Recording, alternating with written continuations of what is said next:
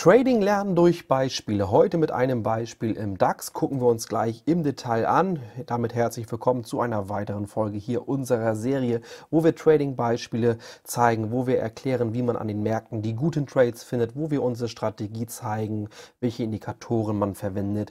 Chartanalyse natürlich, aber auch wirtschaftliche Zusammenhänge. Wir kommen da gleich noch zu. Ist ein sehr gutes Beispiel heute.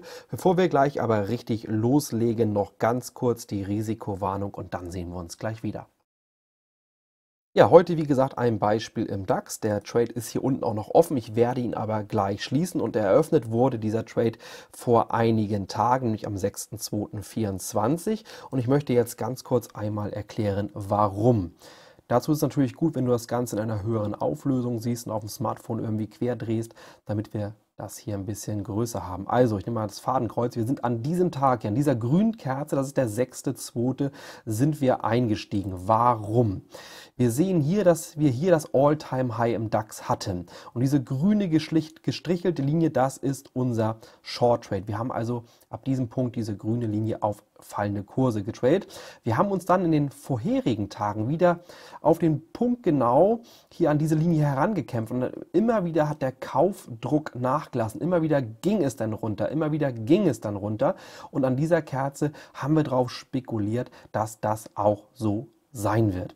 Wir sind dann am selben Tag nochmal rüber gedippt und am Tag darauf sind wir wir können das mal ganz kurz nachmessen. Hier von der grünen Linie am Tag darauf bis hier oben waren es dann 0,3 Prozent, also ungefähr 50 Punkte, die der DAX dann nochmal gestiegen ist in das All-All-All-Time-High sozusagen. Das kann natürlich passieren. Also solche Trades am All-Time-High, wo man dann auf Chance, auf Risiko dann darauf spekuliert, dass der Kaufdruck am Markt nachlässt, dass vielleicht auch Gewinne einer Aufwärtsbewegung, die vorher gelaufen ist, mitgenommen werden, dass andere Trader auch sagen, ja, ich steige hier aus, ich mache den Sack zu und dann wieder auf fallende Trades äh, gehen. Ähm, das ist natürlich immer auch ein bisschen Glück. Ne? Niemand hat hier eine Glaskugel, niemand weiß, wie es weitergeht. Tendenziell spricht nämlich, wenn ein All-Time-High wieder angelaufen wird, so in der gesamten Historie, spricht es eher dann dafür, dass irgendwann dann die Kurse auch von diesem Punkt weiter steigen.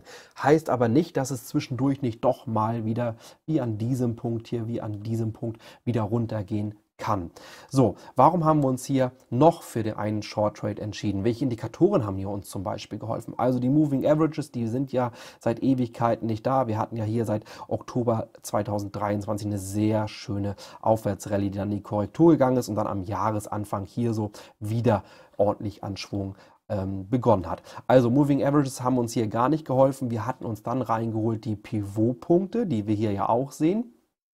Ich habe leider die Aufnahme des Trades nicht gemacht. Deswegen kann ich jetzt zu der aktuellen Pivot-Punkte-Situation an diesem Tag, wo wir reingegangen sind, nichts sagen. Es ist auch so, wenn wir am All-Time-High sind, dann helfen einem Indikatoren manchmal nicht weiter. Den Moving, äh, Entschuldigung, den Fibonacci-Indikator konnten wir hier am All-Time-High, wo wir eingestiegen sind, gar nicht anwenden. Weil was willst du hier messen? Ne? Wenn du einen Aufwärtstrend misst, misst mit dem Fibonacci, wie hier zum Beispiel, ja, dann wartest du ja auf die Korrektur. Ist jetzt hier relevant für den Ausstieg, den wir gleich machen wollen, besprechen wir gleich. Also hier am All-All-Time-High ähm, wenn man da so ist, dann setzt man auf Chance mal rein. Sagt, okay, ich hatte vielleicht vorher ein paar gute Trades, ich gehe jetzt mal auf Chance ähm, All-Time-High rein und teste den Markt mal an, ob vielleicht wie gesagt, Gewinne mitgenommen werden und ein Short Trade Sinn macht. Kann hätte auch gut sein können, dass dieser Trade mit über 1100 Euro jetzt äh, gar nicht so gelaufen wäre, sondern in Stop Loss gelaufen. Bei den Stop Loss haben wir hier ähm, über das, beziehungsweise nahe an dem R3 herangesetzt. Das ist natürlich das R3 vom heutigen Tag. Ich, wie gesagt, bei der Aufnahme war das R3-Level anders. Da haben wir es, wenn ich mich richtig erinnere, knapp übers R3 rübergesetzt. So, das ist die, die Geschichte des Trades. Was kommt, das war jetzt die Chartanalyse, das waren jetzt die Indikatoren, die uns jetzt nicht so viel geholfen haben, die Indikatoren, Chartanalyse schon. Jetzt kommen wir mal äh, zur, zu den wirtschaftlichen Impulsen, wirtschaftlichen Zusammenhängen, wirtschaftlichen Auswirkungen. Wenn wir nochmal das Fadenkreuz nehmen, hier diese grüne Kerze, diese hier, das war der 6.2. Und das war, wenn ich mich richtig erinnere, ein Dienstag. Und am darauffolgenden Freitag, also am 9.2., am Freitag, Dienstag habe ich den Trade gemacht, am Freitag ähm, hatten wir sehr wichtige äh, Inflationsdaten hier für Deutschland, Inflationsrate Deutschland. Und ich gehe davon aus, dass wir hier ähm, Druck bekommen von der Inflationsfront, dass die Inflation nicht so weit runtergegangen ist, dass wir doch noch Druck im Kessel haben. Und wir hatten dann eine Inflationsrate an diesem Freitag von 3,1 Prozent. Aber der viel wichtigere Termin, den hatten wir am heutigen Tag, heute am 13.02. und zwar um 14.30 Uhr. Guckt euch gerne den DAX-Chart auch noch im Stundenbereich nochmal an. Wir können gleich, wenn ich dran denke, nochmal rüber switchen. Ich will das jetzt aber hier nicht äh, wegmachen. 14.30 Uhr heute US-Inflationsdaten, also Verbraucherpreisindex. Ähm, äh, Ex-Nahrungsmittel und Energie, also die wirklich die Kerninflationsrate, auf die es ankommt und Verbraucherpreisindex Jahr und Verbraucherpreisindex Monat. Also heute war richtig was los, was die Inflationsfront betrifft in den USA. Spekulation, Zinswende, die erste Zinserhöhung. Da hat sich wieder was verschoben, so wie es auch letztes Jahr, wer das Video kennt, äh, gesagt hatte. Ich sehe das alles ein bisschen skeptisch und jetzt ist auch nur noch 40, 60, dass im Mai die erste Zinssenkung ähm, kommt. Ich hoffe, ich habe nicht eben Erhöhung gesagt, Senkung kommt. Also von fast 90 Prozent oder 80 Prozent, wo wir was waren, auf 40, 60 jetzt, dass sie kommen, 40 Prozent nur noch. Also da hat der Markt wirklich so ein bisschen auch das mittlerweile ein eingesehen, möchte ich fast sagen, was wir schon oder was ich schon hier im letztes Jahr, ich glaube Dezember, besprochen hatte. Guckt euch das Video gerne an. So, also 14.30 ging es hier richtig, richtig runter. Wir haben die Stop-Level hier im äh, Pivotpunkt S1, S2, S3 gerissen und klar, man weiß jetzt nicht genau, Fibonacci, wir sind hier am All-Time-High gewesen, wo wir ihn gemessen haben. Aber hier, wenn wir jetzt davon ausgehen, dass wir hier in diesem Bereich, wo wir auch fast Dojis hatten, kleinere Kerzenkörper, diese Aufwärtsbewegung begonnen hat hier zum All-All-Time-High, dann sehen wir hier am 61er sind wir jetzt mit der Tageskerze, wo wir jetzt zum Stehen gekommen sind. Ob das 61er hält, weiß ich natürlich nicht. Ob es vielleicht nochmal das 78er anläuft oder ob sich hier vielleicht gegebenenfalls auch schon wieder Einstiegskurse ja, für Mutige zeigen könnten, die dann wieder auf die Erholung traden. Ich weiß es nicht, Leute. Ich habe hier keinen Glaskohl. Ich weiß nur eins, wir haben hier einen schönen Trade und den werden wir hier am 61er als Unterstützung schließen. Kann sein, dass wir Punkte verschenken, kann aber auch nicht sein und deswegen werden wir diesen Short Trade jetzt hier schließen. Ja, über 1100 Euro mitgenommen. Jetzt wollen wir nochmal auf den Stundenchart gehen. Jetzt muss ich mal ganz kurz gucken. Heute 13.02. So, das sieht doch schon besser aus. Also, 13.02., das müsste dann diese Kerze hier, nee, diese Kerze hier, das ist die, das ist die Kerze, das ist die relevante Kerze.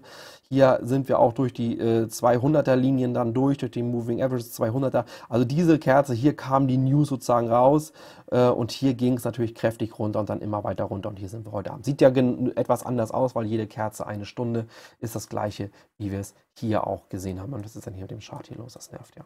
Ja, also das ist diese Kerze, diese Tageskerze aufgedröselt. Den habe ich deaktiviert. Aufgedröselt auf dann äh, diese Stunden hier. Ja, ähm, war sehr interessant, hätte aber auch anders ausgehen können. Ja, man weiß es nicht. Deswegen so am All-Time-High kann auch viel dafür sprechen, dass die Kurse weiter steigen, das Kaufmomentum da ist, das Kaufkraft da ist, gerade wenn da noch unterstützende Nachrichten aus der Konjunkturfront kommen. Jetzt hatten wir aber eher belastende Nachrichten vom Umfeld her und deswegen der Trade hier so gelaufen. Uns hat es natürlich gefreut hier. Das wollten wir euch zeigen. Trading lernen durch Beispiele. Wenn euch solche Beispiele weiterbringen, wenn ihr mehr davon sehen wollt, gerne in die Kommentare abonnieren, um nichts mehr zu verpassen. Wir machen solche Videos ja regelmäßig, wenn ihr mal ähm, einen Wunschmarkt habt, auch gerne mal in die Kommentare, aber das, das kann ich eben halt nicht versprechen, weil wir scannen ja mit der Strategie, die ich eben angesprochen hatte, scannen wir ja hier viele verschiedene Märkte. Anfängern würde ich erstmal weniger Märkte empfehlen, weil man muss ja natürlich auch in den wirtschaftlichen Zusammenhängen gut auskennen, kennen mit dem Wirtschaftskalender, was kommt da für meinen Markt, wie eben hier an diesem Beispiel auch sehr schön gesehen. Aber nicht nur. Es gibt ja auch zum Beispiel Wirtschaftsnews für einen ganz anderen Markt, als ich ihn trade, aber er hat Auswirkungen. Es gibt Korrelationen, positive oder negative zu unserem Markt. Wenn du all das lernen möchtest, die Chartanalyse, wie findet man die guten Trades, welche wirtschaftlichen Zusammenhänge und Auswirkungen auf die Kurse gibt es, dann schau gerne hier in unserer kostenlosen Trading-Ausbildung äh, vorbei. Ähm, tradingdusche.de, Link unten in der Beschreibung und dort bringen wir dir das alles auch sehr gerne bei. Ja, ich habe ein bisschen durchgezogen hier, ich habe nämlich nicht so viel Zeit. Ähm, deswegen ein bisschen schneller gesprochen. Ich hoffe, das ging trotzdem. Und wie immer sehr viel Erfolg beim Traden. Danke fürs Zuschauen und bis zum nächsten Mal.